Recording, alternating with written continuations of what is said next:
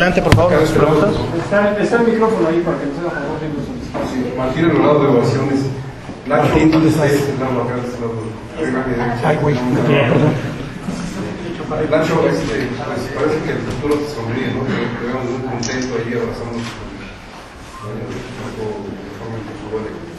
Sí, digo, independientemente que habíamos iniciado mal en nuestra casa, habíamos hecho un partido, eh, yo le había sacado una conclusión y viendo volver a ver el video de 30 minutos bien, después fuimos un desastre, creo que Morelia nos gana bien, nos, nos exhibe mucho, y, pero creo que también los jugadores se quedaron muy dolidos, sabían que, que no, puede, no se puede, en un partido son 90 minutos, y hoy me gustó porque demostró mucha seriedad, mucho orden, y al final, bueno, fuimos también contundentes en, en meter tres goles.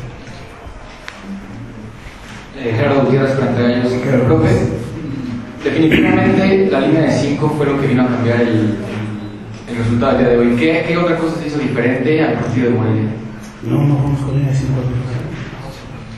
Normalmente jugamos 4-4-2 y hay ocasiones, de repente, no te voy a negar, que con Avita, que de repente, si nos ataca mucho por ese costado, él me ayuda a hacer de repente esa línea de 5. Pero hoy tratamos un poco eh, de mantener ese 4-4-2 o 4-4-1-1 que, que manejamos. Eh, yo creo que lo fundamental fue el orden y la gana que tu- tuvieron mis jugadores.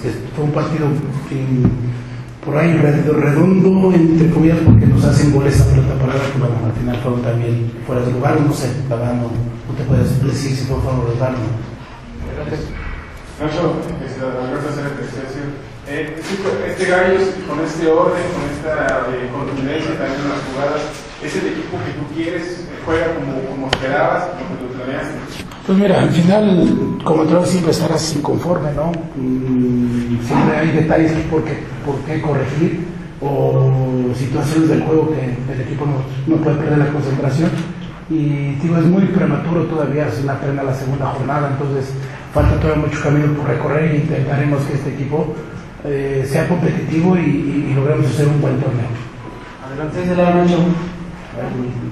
Ah, gracias. Miguel Hernández de Multivisión. Eh, pues el equipo se desenvolvió, se sobrepone al resultado anterior de- con Morelia y encuentra entonces su mejor hombre. ¿Cómo te sientes con este resultado? Pues bien, digo bien porque eh, volviendo un poco atrás a- había sido algo, algo habías preparado un partido para el inicio del torneo dos meses y por ahí cosas administrativas no me permitieron tener el equipo completo y hoy bueno, hoy lo tenemos, hoy el resultado se da muy a favor nuestro, pero creo que mm, yo sí lo que te puedo decir que hemos creado una plantilla muy competitiva, muy pareja, Eh, tengo, te puedo decir que tengo dos por puesto y no, me- no nos queda más que seguir trabajando. Este es un buen triunfo que nos, da- nos calma un poquito ese mal comienzo que tuvimos. Nacho, acá, buenas tardes. Hola, buenas tardes. Dos preguntas. Eh, ¿A qué te sabe la primera victoria de los Gallos en torneos cortos en este estadio? Y la segunda, el, equilibrio ofensivo que estás encontrando con Wilberto Cosme en su segundo torneo, pero también con la llegada de Stan Paredes. Mira, primero, yo siempre creo que las estadísticas son para romperlas.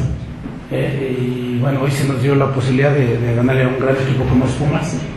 Eh, el otro, pues bueno, hay tanto Esteban como, como Wil- Wil- Wil- Wilmer, eh, poco a poco Wilmer se va soltando más, ya tuvo seis periodos de, de adaptación, hoy se muestra más confiado. Y creo que también esa confianza se le da un tipo como Paredes, que maneja bien los tiempos del partido, que siempre eh, se sacrifica para que de repente a lo mejor Cosme brille un poco más, pero, pero al final yo creo que también es el, el- el trabajo en conjunto que el equipo viene realizando. Nacho, por acá Luis Picasso de Deportes. Por acá Nacho. ¿Dónde estás? Acá. Ay, chaparrito. Este, Nacho, eh, hoy el equipo fue contundente, pero ¿te sorprendió el nivel que hoy mostró Pumas con las fallas defensivas que dio? No sabría decir, mira, sería tocar un tema que a mí a lo mejor no me corresponde, como es opinar de Pumas. O- pero también pienso que mi equipo hizo un buen trabajo. Nullificamos sus, a sus jugadores importantes, no dejamos que tuvieran mucha conexión.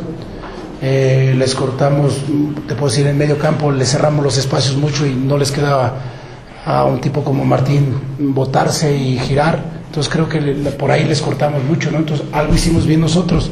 Digo, si ellos hicieron algo mal, bueno, será el entrenador el que te puede decir en qué se pudieron haber equivocado y nosotros, bueno, pues eh, sacamos este resultado importante. Nacho, buenas tardes. Luis Amesco de Tiempo.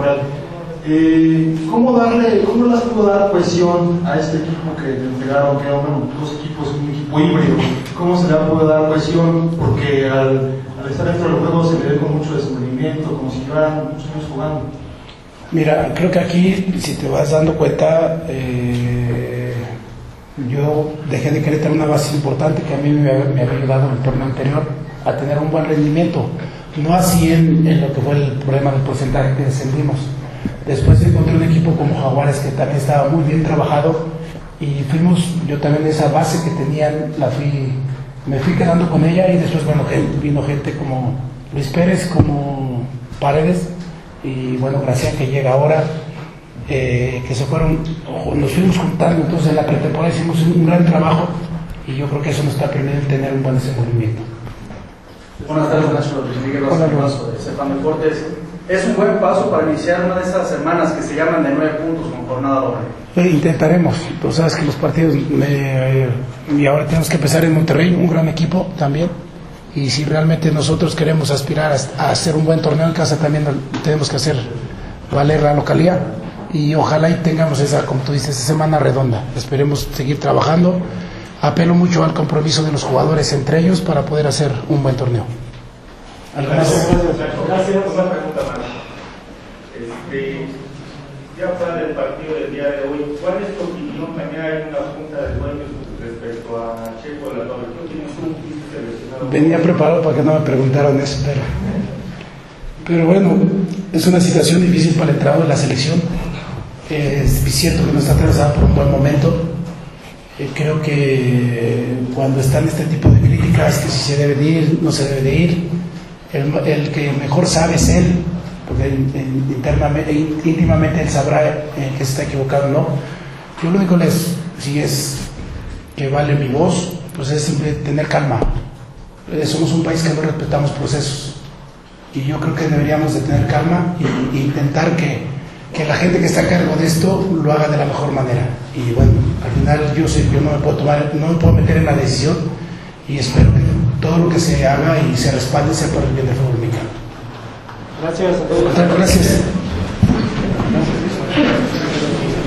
Lo que le dejan los. No, pienso que sentimiento bueno lo que de la preparación de la pretemporada que hemos hecho y se ve reflejado aquí. Ahora tratar de, de, seguir haciendo las cosas bien y seguir marcando gol. Hoy se vio bien Querétaro, el nivel de juego, la, la productividad fueron contundentes. Hoy se vio, salió todo perfecto prácticamente. Sí, pienso que sabíamos de lo complicado que era de venir acá, a esta cancha, lo de la altura. Por ahí nosotros tratamos de, de esperar un, un, poquito y contragolpearlo a ellos. Por ahí te quedaste cerca de hacer tres con esa jugada donde tiras el balón por arriba del portero. Ya. Sí, pienso que la vi clara así y así la tiré, pero no me salió, pero el otro partido será. ¿Qué, qué diagnóstico se saca? Sobre todo porque es más difícil evaluar a un equipo cuando se juega bien, ¿no? ¿Qué, qué, qué le falta todavía a este Querétaro por No, todavía nos falta dar más y soltarnos un poquito más y tener más control del balón. ¿Qué cambió del partido ante Monarcas ahora un Querétaro que se vio totalmente diferente hoy aquí en Ciudad Universitaria? Pienso que no, lo que lo, lo del partido pasado al de este ya es una nueva historia y sabíamos de la, la importancia que era de venir acá y, y ganar y así lo hice. Cosme, ¿crees que si hubieras jugado el primer partido, Querétaro tendría más puntos?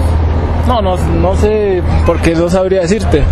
Porque mira, hace ocho días no jugué y perdimos, y hoy ganamos, y por ahí de pronto la gente dirá, bueno, faltó Cosme, por eso perdimos, pero no, no, porque hubiéramos ganado no hubieran dicho nada.